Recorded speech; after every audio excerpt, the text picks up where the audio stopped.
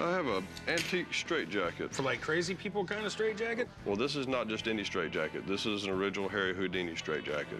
Okay. It does look Friday the 13th-ish. Yeah, exactly. Coming down to the pawn shop today to try to sell my Harry Houdini straitjacket. If I can get enough money, I'd like to build a Jeep. I'm hoping to sell it for $100,000. It's an absolutely priceless uh, piece of Houdini memorabilia. So where did you get this thing? This jacket was given to my grandfather by Theo Houdini, Harry Houdini's brother. They became good friends after Houdini passed away. Okay. Um, Houdini started off as a magician and he didn't have a lot of success. But then he started doing the whole escape thing to help promote his magic show, getting out of straitjackets, the water tricks, all that. Next thing you know, he was big. He was a master of self-promotion. Yeah. what'd you want to do with it? Uh, I'd like to sell it. And how much do you want for it? Uh, $100,000.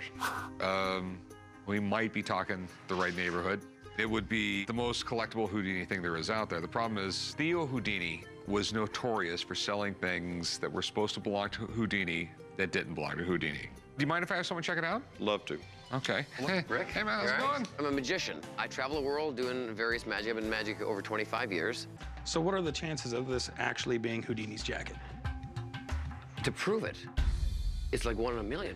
Each rivet has a certain space, and these rivets are never gonna match another jacket spacing. Now, a company that he always used a lot was a Swanfelt um, tent and awning company, and generally that stamp is on a jacket.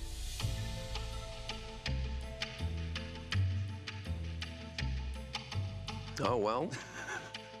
Swanfelt Tent and Awning Company. I thought for sure there was no way we could prove this was Houdini's, and now we have a positive clue. This is a great start, but to prove it, I need to find photograph, which is like a one in a million chance. But this is really Houdini's jacket, this is like the holy grail, I mean, of Houdini.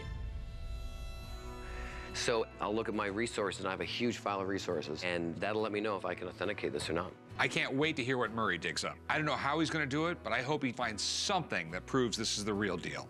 I found the only photographs of a jacket that's as close as we can get to this jacket. It's the exact same style made by the same company. This is January 1st, 1915 in St. Louis, Missouri. Let's check this thing out, you know, let's see if this is the actual jacket. Unbelievable. Look at this.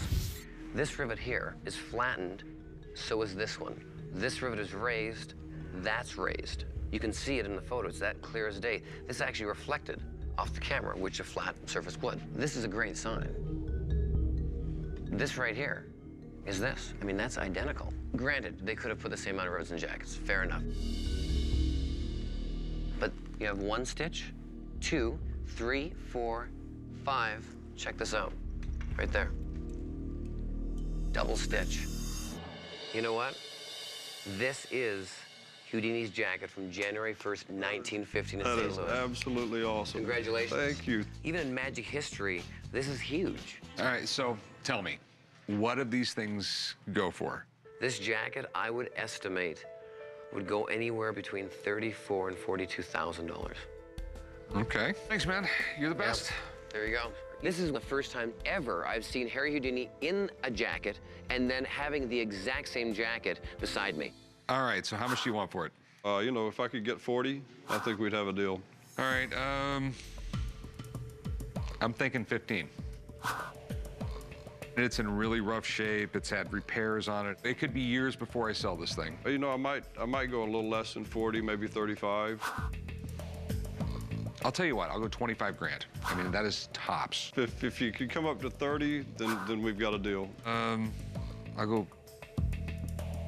you know, 25 is it.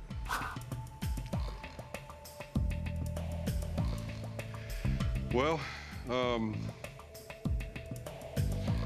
this has been an awesome day. Uh, you know, I think I'll keep it. Okay. I'm always here, man. Awesome. Thank you, All right, thank guys. Forget the numbers. The most exciting thing is to actually have uh, the expert come in and find an actual photograph of Harry Houdini wearing my jacket. Absolutely blew me away. Blew me away. I can't believe this guy wouldn't budge on his price. Even though we were only five grand off on the price, 25,000 is the most I could offer. Damn, I really wanted this jacket. I almost feel like running after him in the parking lot right now. Mr. Brown and I got along famously. Why he tittled through a pass, I caught the ball myself. It's got a name engraved on it. How did you end up with this? Sounds so fun.